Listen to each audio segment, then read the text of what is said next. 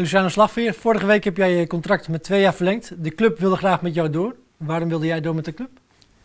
Omdat ik eh, dit een hele mooie club vind. Ik denk dat ik mezelf hier goed kan eh, doorontwikkelen. Uh, je ziet ook dat veel spelers weggaan en naar een andere club gaan en daar eigenlijk niet meer aan spelen toekomen. daar, daar heb ik eigenlijk van geleerd. Ik zie dat het beter is om nog eventjes stabiel te blijven bij, bij Herenveen en echt een vaste waarde te worden en dan pas verder te kijken. Dus uh, ik denk dat het verstandig is om hier uh, te blijven nog. Nou, naar wat voor spelers uh, heb je dan gekeken? Ja, ja je hebt het bijvoorbeeld al gezien bij Bilal die vroeg weg is gegaan. Asaidi die is eigenlijk bij zijn club niet aan spelen toegekomen. Dus dat zijn zomaar even twee voorbeeldjes die die, die minuten binnenschieten.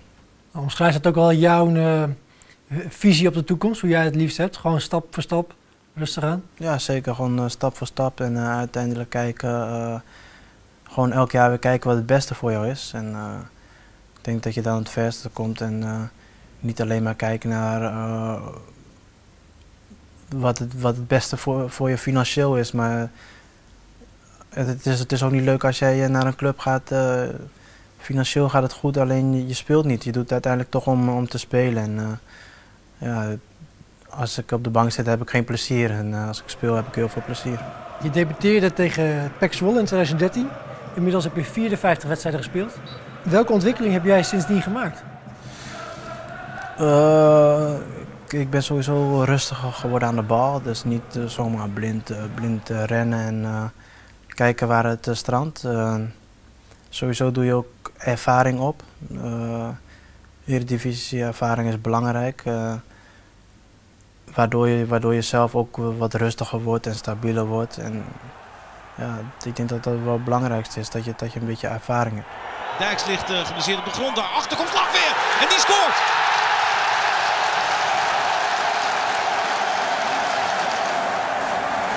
Wat zou je nog specifiek willen ontwikkelen? Wat kan er beter?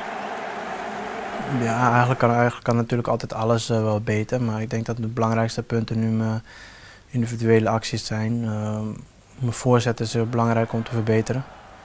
En dan uh, naar binnen gaan en, en, schieten, dus met linker, linkerbeen trainen is ook belangrijk.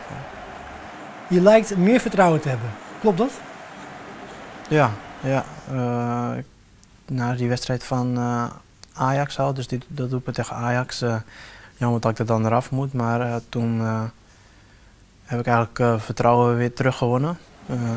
ik probeer belangrijk te zijn voor het, voor het team. Zoals ik na de winterstop ook al denk ik mijn waarde heb laten zien door doelpunten te maken.